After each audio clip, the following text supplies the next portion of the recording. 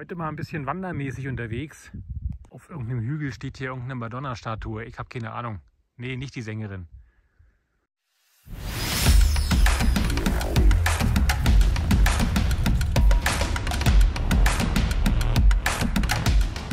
Hallo und willkommen zu einer neuen Folge von Holgi unterwegs. Äh, ich bin in, äh, im hohen Norden unterwegs, in Norwegen, um ganz genau zu sein. Und ich nehme euch mit auf meiner Reise durch Fjorde, Tunnel, Berge, Seen, Wälder, das ganze Programm. Viel Spaß und danke, dass ihr eingeschaltet habt.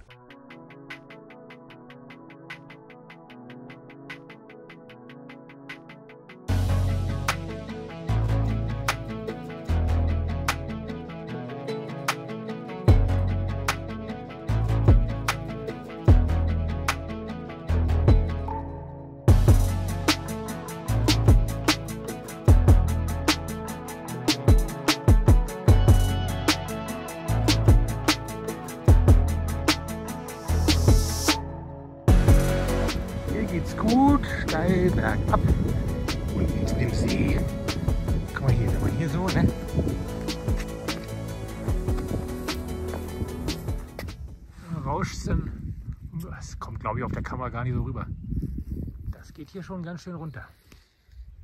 Jetzt latschen wir den ganzen Weg wieder zurück.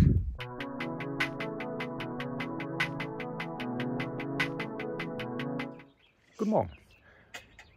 Am Wochenende haben wir uns jetzt mal einen Campingplatz gegönnt. Heute ist Sonntag und äh, lustigerweise verschwinden jetzt nach und nach die ganzen Wohnmobile. Ich glaube, wir sind hier bald allein. mal gucken. Ja, ansonsten echt schön mit See und so. Da werden wir nachher noch mal gucken, ob unser Boot ins Wasser kann.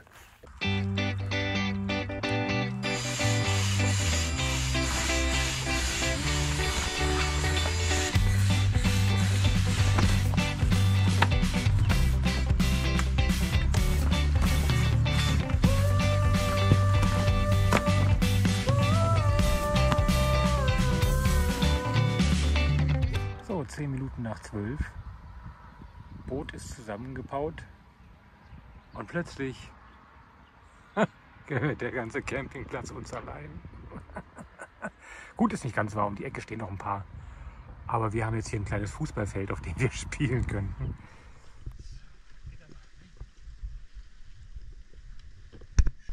Ein herrliches Leben, Herrschaften. Hier rattert unser kleiner Minimotor. Also, der Trend kann es damit nicht fahren, ne? aber man kommt vorwärts und muss nicht rudern. Problematisch wird es, wenn die Batterie alle geht. Aber die habe ich über Nacht extra nochmal aufgeladen. Ich gehe mal davon aus, dass die eine Weile hält.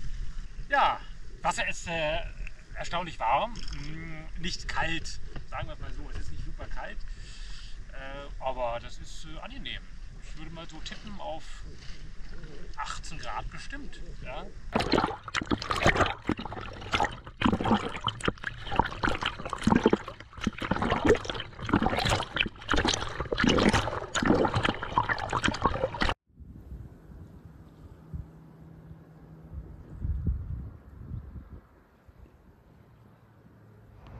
Bin jetzt hier in Kongsberg. Doch ein viel größeres Städtchen, als ich gedacht hatte. Hat äh, im äh, 17. und 18. Jahrhundert ordentlich Kohle gemacht durch äh, ein Silbereisenbergwerk und haben hier richtig, ähm, ja, teilweise äh, die halben Staatskosten von Norwegen damit finanziert. viele, viele deutsche Bergarbeiter äh, sind damals hierher gekommen und haben sozusagen das Handwerk nach Norwegen mitgebracht, wenn ich das richtig verstanden habe. Äh, Sehr spannend. Jetzt gucken wir uns gleich mal dieses Bergwerk an oder zumindest ein Museum dazu. Ich glaube, das Bergwerk selber ist gar nicht mehr vorhanden oder betretbar, was auch immer, aber ein Museum. Und im nächsten Jahr wird Kongsberg tatsächlich 400 Jahre alt und ähm, es finden sich bereits jetzt überall Hinweise dafür, so zum Beispiel auch hier. Wenn dann mal eben auf einem Haus die 1624 steht. Und auch am Ortseingang äh, wurde bereits äh, darauf hingewiesen, dass es demnächst ein 400-jähriges Jubiläum gibt. Was diese Glaskirche oder Spiegelkirche zu bedeuten hat, weiß ich nicht. Steht hier am Fluss. Ist auch nirgendwo ein Schild. Mal gucken, ob wir das noch rausfinden.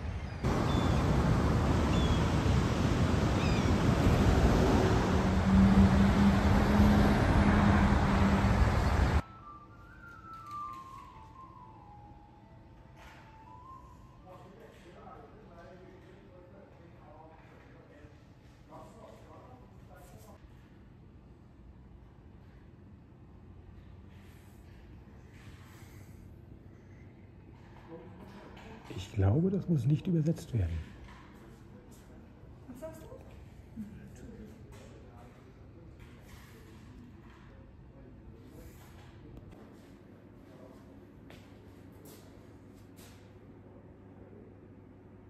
Eine Truhe voll mit Silberbarren.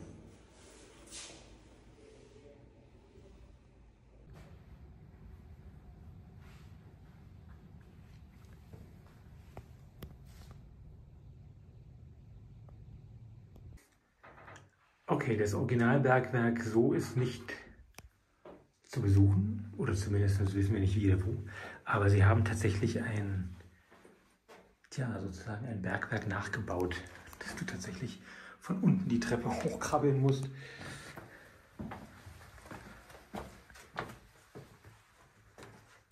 Und versuchen sozusagen den Eindruck eines Bergwerks zu schaffen. Mit allem, was dazugehört. Das ist ja echt nett gemacht. Und sogar einem Essensraum. Hier schön mit Bänkchen. Das ist ja echt sweet gemacht. Und dann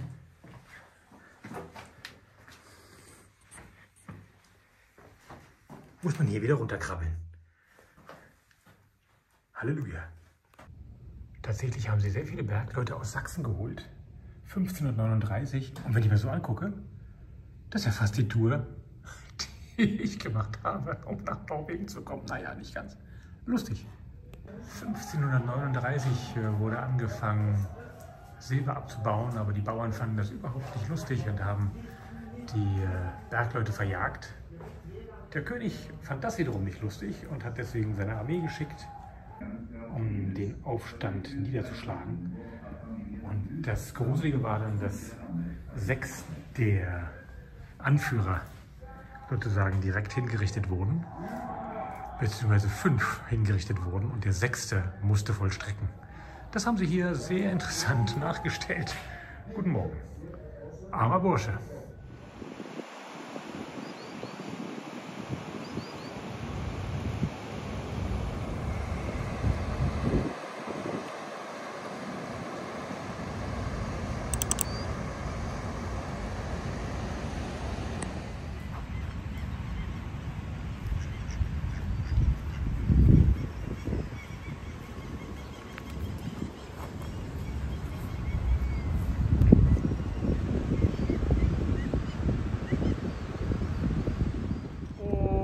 Und noch eine Stabkirche. Unwesentlich größer, unwesentlich mehr Besucher, unwesentlich größerer Friedhof.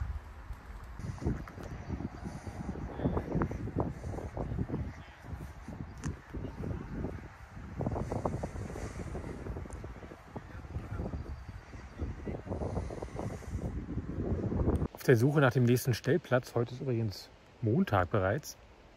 Ich habe keine Ahnung, wie viele Tage wir mittlerweile weg sind. Es ist wirklich verrückt. Also die, dieses, dieses durch Norwegen fahren und immer an verschiedenen Orten und hin und her, man verliert komplett die Übersicht. Welcher Tag, welche Uhrzeit. Hinzu kommt auch noch diese permanente Helligkeit. Ja, also ich bin gestern um 1.50 Uhr bin ich wach geworden heute Nacht. Und äh, es war taghell. Naja, nicht taghell, aber es war hell. Okay, lange Rede, wenig Sinn. Wir stehen jetzt hier, quasi mitten im Wald. Hier ist ein Weg. Ab und zu kommt hier noch mal ein Auto vorbei, habe ich den Eindruck. Gucke, da stehen wir. In so einer Einbuchtung gegenüber von einem Wanderweg offensichtlich. Da hinten ist die Hauptstraße. 200 Meter von hier vielleicht. Und über uns Bäume. Solange kein Sturm kommt und die Bäume aufs Auto krachen, ist alles gut. Mal gucken, wie die Nacht wird. Zum Abendbrot gibt es heute Blumenkohl mit Kartoffeln. Einfach, ähm, ja, relativ schlicht zubereitet, aufgekocht, gegessen. Fertig ist der Lack. Kartoffelchen sind schon mal auf dem heißen Topf. Herd, Dingsbums. Wenn ihr euch fragen solltet, warum zum Kuckuck so viele Kartoffeln, erstens mal mussten sie weg und zweitens mal können wir daraus dann noch schön Bratkartoffeln in den nächsten Tagen machen. Blumenkohl braucht jetzt noch ein Momentchen, bis die Kartoffeln erstmal schön kochen und dann können wir daran und gut ist. So, siehst du wohl, ganz schlicht, bisschen Butter drauf, zerlaufen lassen. Ach, herrlich. Ne? Ja, guten Appetit.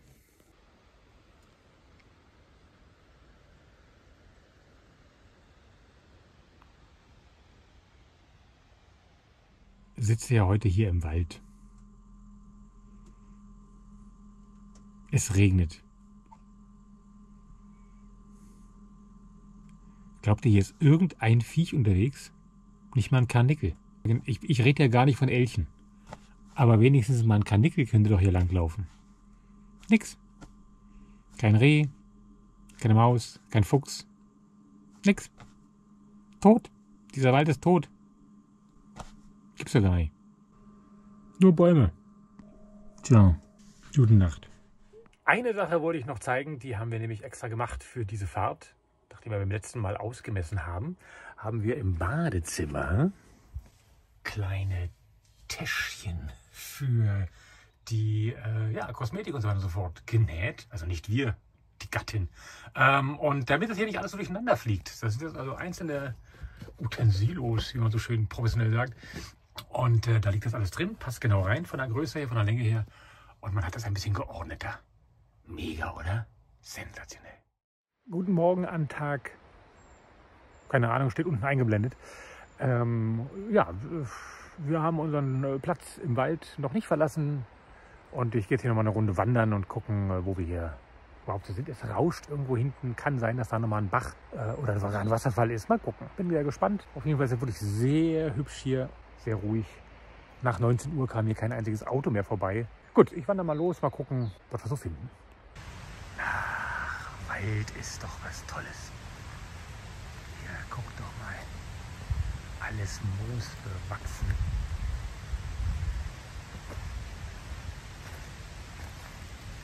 Das sieht hier aus.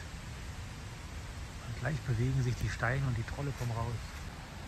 Und da hinten rauscht es schon. Ich denke, ihr hört es. Wir sind also tatsächlich an irgendeinem Wasserfall.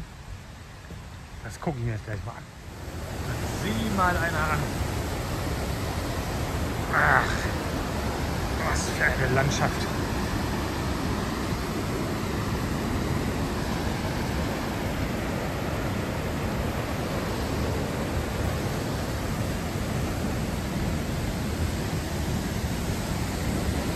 Steine sind ein bisschen rutschig. Schön aufpassen.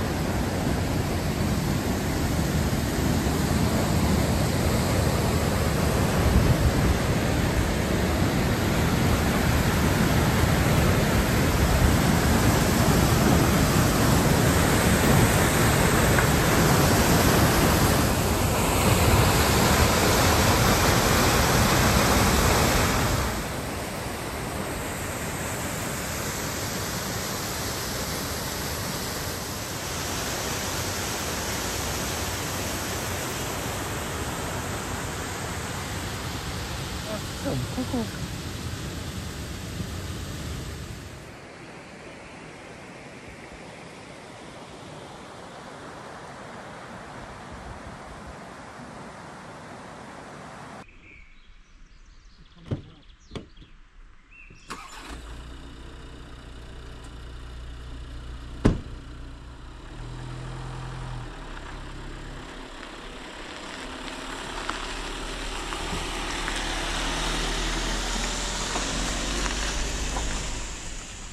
Okay, das hat jetzt ein bisschen was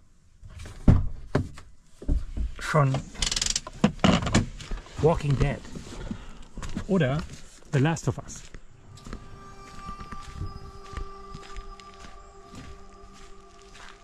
Verlassener Wohnwagen im Nirgendwo. Okay, das ist wirklich gruselig.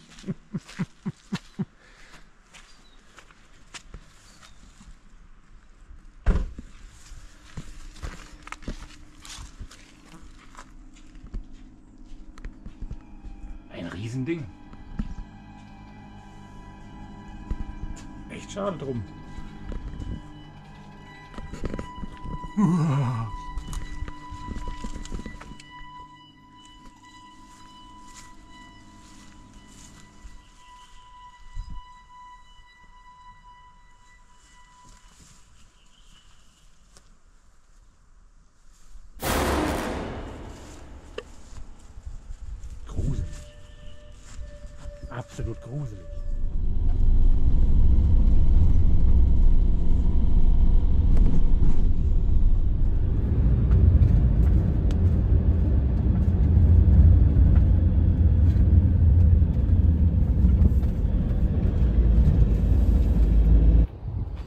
bin jetzt in Drangedal gelandet. Da gibt es einen sogenannten Bygdetun. Das ist so eine Art ländlicher Hof. Ähm, das, äh, das sind so offensichtlich alte Häuser. So haben die Menschen früher hier gelebt. Weiß der Kuckuck so in dem Dreh. Das Lustige allerdings ist, dass an dieser Stelle auch ein extra ausgeschilderter Stellplatz für Wohnmobile ist. Und äh, so sieht das hier aus. Das ist der Stellplatz für Wohnmobile. Ich meine, immerhin Strom, Wasser, aber dass hier keiner ist, wundert mich nicht, weil da drüben ist irgendein so Fußballstadion oder irgendwas. Es ist wirklich unattraktiv ohne Ende. Und auch die Stadt selber, Drangedal, das sah ganz schön traurig alles aus. Also wenn da nicht die beiden Supermärkte gewesen wären, wäre das irgendwie ganz schön komisch. Und ganz ehrlich, Freunde, 200 Kronen abdrücken für das hier. Ich meine, der Blick ist ganz nett, ne?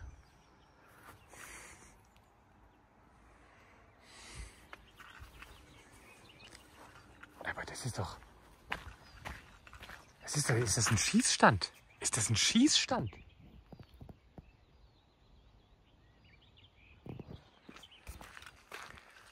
Na gut, hier stehen dann lauter alte Sachen rum. Eine alte Kutsche.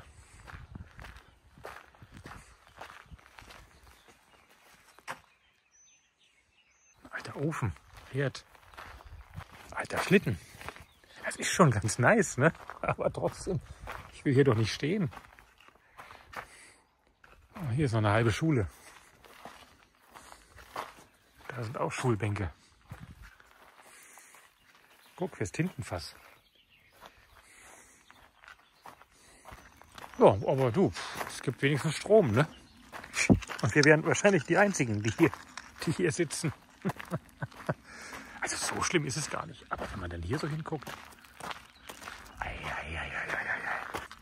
Aber es ist alles, es ist nicht, es ist nicht, es ist kein alter Scheiß, ne? Also es ist schon, es ist schon alles in Ordnung. Und wenn man hier so guckt, ist ja ganz hübsch. Naja, gut. Genau, da haben wir es jetzt. Tangenthal Bygdetum, das ist äh, eine ganze Anlage irgendwie äh, mit unterschiedlichen Häusern. So, hier ist das Eingangstor. Wir laufen natürlich ganz artig durchs Eingangstor. Übrigens Saison erst ab Juli. Juli und August, wirklich nur im Sommer. Deswegen ist hier jetzt nichts. Aber man kann sich mal gucken. Wie gesagt, das haben wir in verschiedenen Orten äh, schon gesehen. Und diese Scheune zum Beispiel, die ist gar nicht ursprünglich hier gebaut worden, sondern äh, in, äh, ein paar Kilometer in einem Vorort von Drangedal auf einer Farm im Jahr 1770 ungefähr, steht dran. Haben sie abgebaut, hier wieder hingebaut. Und äh, wenn ich das alles richtig verstehe, ähm, stellt das im Grunde so ein bisschen die Dorfstruktur eines alten norwegischen Dorfes dar. Gut, natürlich äh, gab es da keine Zelte, ne? aber wenn man hier guckt, da kann man schon erahnen, wie das vielleicht vor Urzeiten war. Und auch hier, uraltes Haus, ungefähr aus dem Jahr 1700. Ähm, ist 1968 hier in dieses, ich nenne es mal Museumsdorf gekommen. Ich finde das ja so spannend, diese Stelzenkonstruktion. Wie diese Häuser ähm, tatsächlich auf Stelzen stehen. Das haben wir auch ganz oft an den Straßen gesehen, gerade im Bereich äh, von, von Wasser und Felsen und alles. Ähm, wird sowas gerne mal auf Stelzen gebaut. Und wenn man überlegt, dass dieses Haus über 300 Jahre alt ist, nicht schlecht. Sinn und Zweck dieses Hauses war nichts anderes als ein Lagerhaus für Essen, für Gerätschaften, für was auch immer. Ein Lagerhaus. Auch hier dieses mit äh, Moos und anderen Pflanzen bewachsene Dach sensationell. Gucken wir da mal hier. Ah, ein Badehaus, eine Sauna. ähm, aus dem Jahr 1850. Ein Badehaus. Oh, da kann man oben reingucken.